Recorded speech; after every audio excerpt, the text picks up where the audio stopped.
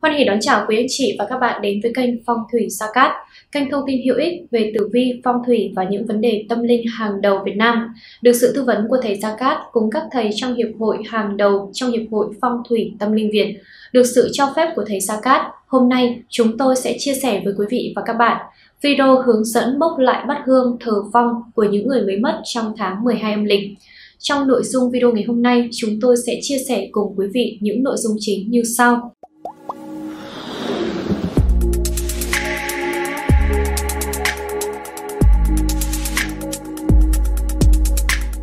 1. Những ngày tốt bốc bát hương lập ban thờ cho vong linh người đã khuất tháng 12 âm lịch. 2. Sắm sửa đồ lễ cần thiết cho việc lập bát hương thờ vong linh người đã khuất tháng 12 âm lịch. 3. Các bước cần làm để bát hương thông linh được với người đã khuất. 4. Quy trình bốc bát hương thờ vong linh người đã khuất chuẩn phong thủy. 5. An vị và dâng hương cho bát hương thờ vong linh người đã khuất. Xin mời quý vị và các bạn cùng theo dõi. Quý vị thân mến, để có thể hiểu rõ hơn về bàn thờ vong người mới mất, trước hết chúng ta tìm hiểu ý nghĩa của hai từ thờ cúng. Ý nghĩa của thờ có nghĩa là dựng lên cái gì đó về mặt hình thức, về tín ngưỡng, còn cúng là dâng lên những thực phẩm, rượu nước, trái cây, nhang đèn. Điều này có thể cảm nhận được bằng các giác quan, để ngửi, để thưởng thức, từ thờ cúng chỉ để dành cho người đã mất, Việc thờ cúng người mất sẽ bắt đầu từ lúc đám tang diễn ra, tiếp sau đám tang là tuần thất, rồi đến đám rỗ. Trong phong thủy, việc lập ban thờ và bốc bát hương thờ vong linh người mới mất là việc làm hết sức cần thiết để họ có nơi khang trang, sạch sẽ, ấm cúng về cư ngụ và phù hộ cho những người trong gia đình được cát lành và may mắn. Việc lập ban thờ và bốc bát hương thờ vong là việc hết sức quan trọng, chính vì thế mà không thể làm vừa được. Để tránh vi phạm những đại kỵ tâm linh, quý vị hãy liên hệ trực tiếp với đội ngũ hỗ trợ của chúng tôi cùng với sự tư vấn của thầy Sa Cát qua số điện thoại 0989 34 9119 để được mọi việc hanh thông, thuận lợi. 1. Những ngày tốt lành nhất trong tháng 12 âm lịch bốc bát hương thờ vong linh người mới mất. Theo thầy Gia Cát cùng các thầy trong Hiệp hội Phong thủy và Tâm linh Việt bao gồm những ngày sau. 1. Ngày 11 canh thân 2. 15 giáp tý 3. 16 ất sửu 4. 20 kỷ tỵ 5. 25 giáp tuất 6. 26 ất hợi 7. 30 kỷ mão và 8. 23 nhâm thân đó là 8 ngày tốt để bốc bát hương vong linh người mới mất trong tháng 12 âm lịch. Quý vị hãy chọn ra cho mình một ngày phù hợp nhất với mình để tiến hành bốc bát hương cho được thuận lợi và may mắn. 2. Đồ lễ bốc bát hương trong mọi việc tâm linh thì đồ lễ là thứ đầu tiên để tỏ lòng thành kính với bề trên và những việc cần làm. Vậy nên khi lập ban thờ hay bốc lại bát hương thờ vong cần phải có những lễ vật sau quý vị có thể tham khảo. Gà luộc một con, một đĩa thịt quay hoặc thịt luộc, một đĩa bánh bao chay 5 hoặc 15 chiếc, một đĩa chè, thuốc, trầu cau, một mâm cơm, canh, xôi hai đĩa, hai đĩa hoa quả, mỗi đĩa 5 hoặc 15 quả, bánh kẹo, rượu, một đĩa gạo, một đĩa muối, hoa 5 hoặc 15 bông, nên sử dụng số bông lẻ, một đèn dầu với hai cốc nến hoặc là cây nến. Đồ mã thì gồm có 5 đinh tiền vàng cộng với bộ quần áo ông bà tiền chủ, hậu chủ, hai vàng hoa đỏ đại, hai vàng ngũ phương, ba tập tiền tào quan. Ngoài ra quý vị và các bạn cần chuẩn bị thêm là hương, chuông lệnh, chuông hiệu nếu có, chậu sạch, khăn sạch, rượu gừng hoặc rượu ngũ vị hương. Sau khi chuẩn bị xong đồ lễ, ta tiến hành bốc bát hương cho ban thờ vong linh người mới mất. Để việc bốc bát hương được hanh thông và thuận lợi, ta cần chuẩn bị những vật phẩm như sau. Thất bảo, gạo vàng, thần tài, ngũ vị hương, cho nếp, tờ di hiệu, giấy trang kim, trầm sông, tài liệu hướng dẫn bốc bát hương và văn khấn.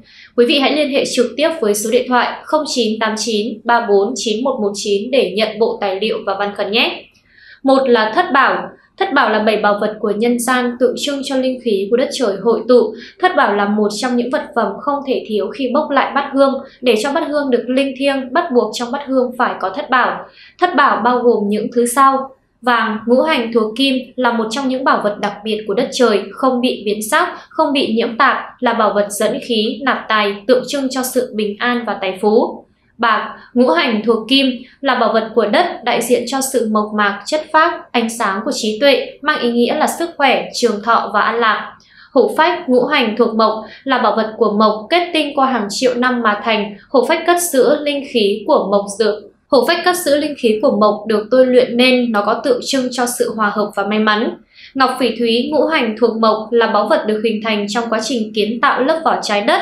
Ngọc phỉ thúy tượng trưng cho quyền lực, quý phái, đem lại may mắn và bình an. San hô đỏ, ngũ hành thuộc hỏa, một trong những bảo vật quý hiếm với sự kết tinh của vũ trụ, san hô đỏ giúp đem lại may mắn, kỵ tà và thanh tịnh. Đá mã não đỏ, ngũ hành thuộc thổ, là một dạng khác của đá thạch anh nên mã não mang đầy đủ những năng lượng phong thủy tích cực.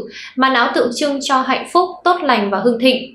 Ngọc trai tự nhiên, ngũ hành thuộc thủy là một trong những báu vật kết tinh của biển cả bao la, có màu ngũ sắc lấp lánh khi đưa ra ánh sáng, tượng trưng cho tài lộc và may mắn. Ngoài ra trong gói thất bảo của chúng tôi còn có thêm chỉ ngũ sắc theo sự tư vấn của thầy Gia Cát. Sử dụng chỉ ngũ sắc trong bát hương để điều hòa ngũ hành, kỵ tà và mang lại sự linh thiêng của bát hương. Hai là gạo vàng thần tài. Gạo vàng thần tài được xem là một vật thần kỳ, cực may mắn. Nó được chế tạo từ cát và đá tự nhiên thuần khiết. Mỗi công đoạn chế tác đều vận dụng các nguyên lý ngũ hành kim, mộc, thủy, hỏa, thổ một cách nghiêm túc. Sự linh nghiệm đặc biệt mạnh của gạo vàng thần tài được sử dụng trong việc kích tài, vậy nên đây là vật phẩm cần phải có trong mỗi gia đình, đặc biệt là trong việc bốc lại bát hương và kích tài cho bát hương vào ngày mùng 1 và rằm hàng tháng. Ba là ngũ vị hương, là vật phẩm phong thủy dùng để bốc lại bát hương và bao sái bát hương cũng như ban thờ. Ngũ vị hương bao gồm các loại hương liệu thảo mộc quý, được dùng rất nhiều trong phong thủy như tẩy uế, sông khí khi vào nhà mới, bốc lại bát hương, pha với rượu để bao sái bát hương, lau dọn ban thờ cho sạch sẽ thơm tho. Khi có ngũ vị hương trong bát hương, bát hương sẽ không còn bị tạp chất, sạch sẽ và thơm tho hơn, mang lại sự linh thiêng cho ban thờ của bạn. 4 là tờ di hiệu. Tờ di hiệu bát hương là tờ giấy được in thành màu vàng và được viết bằng chữ Hán nông đỏ. Bộ di hiệu thường được sử dụng để viết tên người được gia đình thờ cúng và được đi kèm với đó là bộ thất bảo. Trong gói thất bảo mà thầy Sa Cát cung cấp đã có kèm tờ di hiệu và cách ghi di hiệu chi tiết cho từng bát hương. Năm là giấy trang kim. Giấy trang kim là loại giấy có một mặt trắng kim, màu vàng chuyên dùng khi bốc bát hương hoặc cho vào tiểu khi bốc mộ.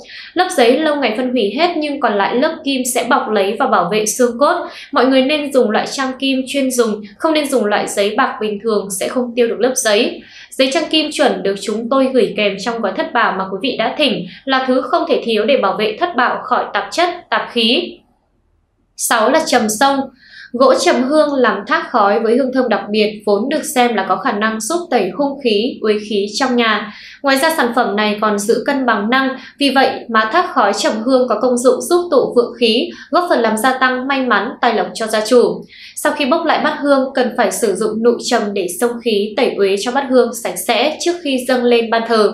7. Tài liệu hướng dẫn quy trình bốc bát hương và văn khấn bốc bát hương. Những tài liệu này đã được chúng tôi gửi kèm với bộ thất bảo để đảm bảo cho quý vị bốc bát hương được chuẩn chỉ và chính xác nhất. Sau khi chuẩn bị đầy đủ đồ lễ vật và vật phẩm để bốc lại bát hương, chúng ta bắt đầu tiến hành bốc bát hương theo quy trình sau. Lưu ý bát hương thờ vong tờ si hiệu không ghi mà để chống. Bước 1. Sàng cho, chuẩn bị ngũ vị hương, thất bảo, trầm, gạo vàng thần tài, viết di hiệu, bật lửa, hương, nhang. Bước 2, sau khi sàng lọc cho nếp sạch sẽ, chúng ta tiến hành trộn cho với ngũ vị hương. Trong quá trình trộn cho nếp với ngũ vị hương, tâm ý phải hợp nhất, toàn tâm toàn ý nghĩ về việc bốc bát hương, khi đó bát hương mới linh ứng. Ngoài ra phải đọc ngũ bộ chú trong quá trình trộn cho nếp như hướng dẫn mà thầy Gia Cát và các thầy trong Hiệp hội Phong thủy đã hướng dẫn gửi kèm trong bộ thất bảo. Sau khi trộn cho nếp đều với ngũ vị hương, cho nếp từ màu đen tuyền chuyển sang có ánh vàng của bột ngũ vị hương và có hương thơm dễ chịu, trộn đều cho nếp với ngũ vị hương xong ta chuyển sang bước tiếp theo.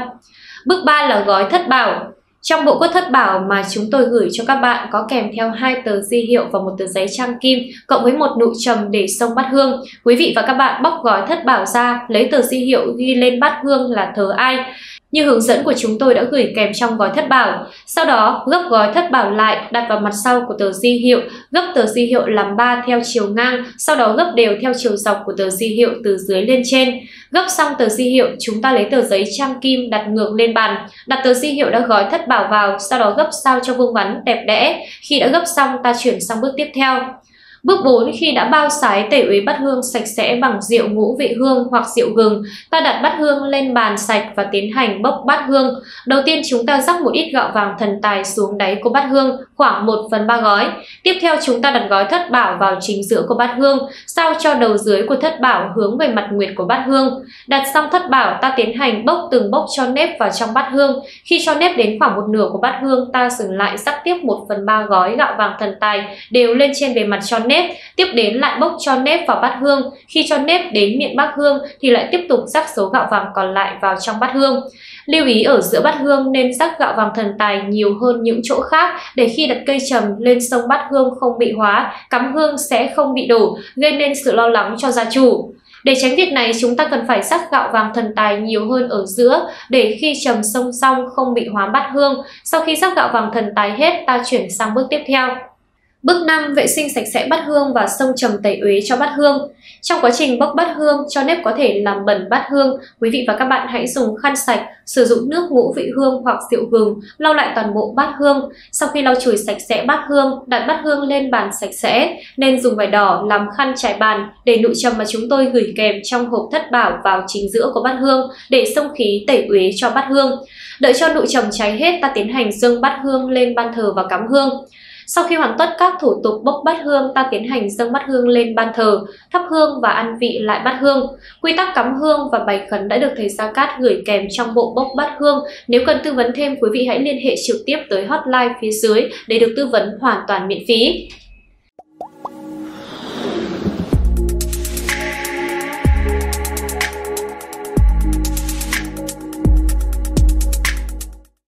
Trên đây, thầy Gia Cát đã giới thiệu với quý vị quy trình bốc lại bát hương thờ vong linh người mới mất trong tháng 12 âm lịch. Hy vọng qua video này, quý vị và các bạn có thể tự mình bốc lại được bát hương một cách chính xác và đầy đủ nhất. Để bốc được một bát hương đúng và linh thiêng nhất, quý vị đừng ngần ngại liên hệ với thầy Gia Cát cùng đội ngũ trợ lý của thầy để được tư vấn nhé. Quý vị hãy đăng ký kênh để nhận được những video mới nhất của thầy. Còn bây giờ, xin chào và hẹn gặp lại!